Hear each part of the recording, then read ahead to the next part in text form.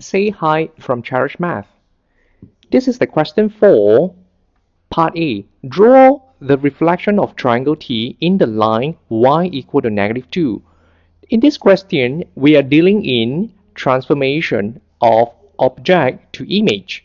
Now, this question is asking what is the image of the triangle T which is shaded here.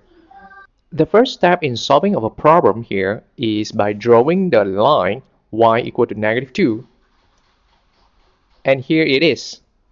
And the next step is by finding the vertices of the triangle T one by one. We are dealing with the first vertex of the triangle T here.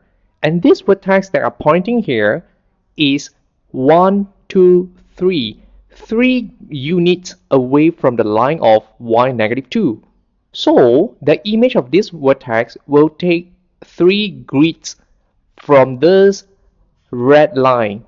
That will be one, two, three. It landed here. And this vertex, it is one, two, three, four, five.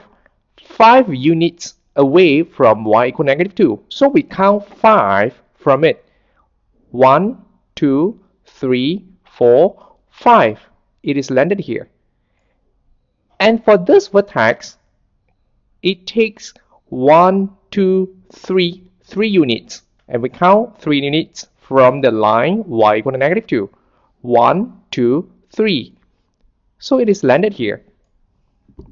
The last step we need to take here is by joining the three dots by using a ruler and pencil.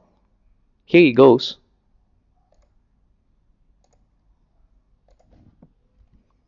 Now, this triangle that labeled in the red color is in fact an image of the triangle T that shaded here.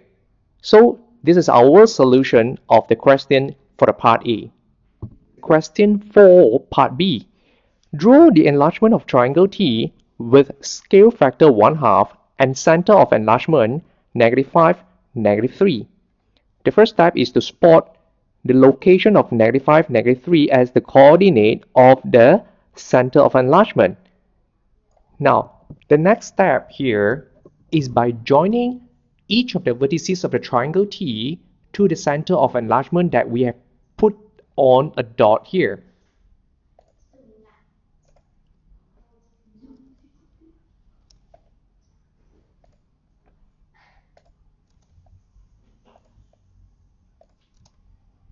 We are now using the scale factor of 1 half multiplying the length of the horizontal for the triangle T which is 4 unit here and the answer that we get is actually 2.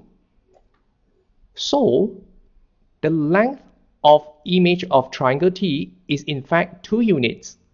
From the linings here, the only way that we can get 2 units is in fact over here that I have shown. And what about the height of the triangle T when transformed to its image? That would be, we are using the same 1 half as the scale factor multiplying the height of the triangle T which is originally at 2 units. So we are getting 1 unit. And this is the answer where the height as 1 unit for the image of the triangle T where we produce here by drawing the line here. So we just have to connect the third line here and it produces the image of the triangle T that we are aiming to get at. Part C of the question 4 is the last part of our question here. It reads as Describe fully the single transformation that maps triangle T onto triangle A. Now, the first thing to spot up here is to find where is the coordinates of the center of transformation. Here is the answer. This is by means of rotation.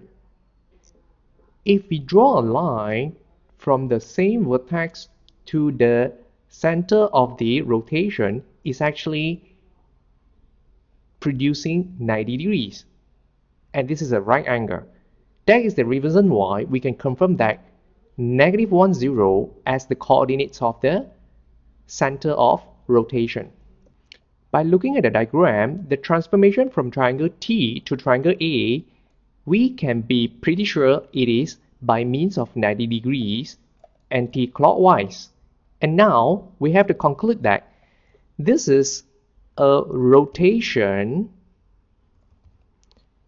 by means of 90 degrees anti-clockwise. Center is negative 1 0 and that's the answer. Thank you.